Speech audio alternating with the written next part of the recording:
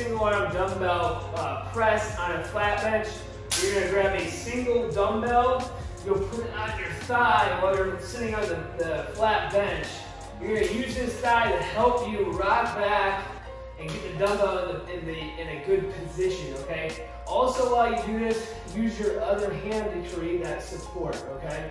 So you, because you're not using the other hand for a, a, a traditional dumbbell press, use that for stability to help you set up. So you're gonna rock back, and this is gonna look a little something like this. Rock back, bring back with both, set your position, press up okay? Now in this position, I'm gonna keep my dumbbell at neutral here, so that's a real good position for the shoulder. You're gonna guide it down at a 45 degree angle. I don't wanna be too wide out, and I don't wanna be too close, and then from here, I'm just gonna press straight up.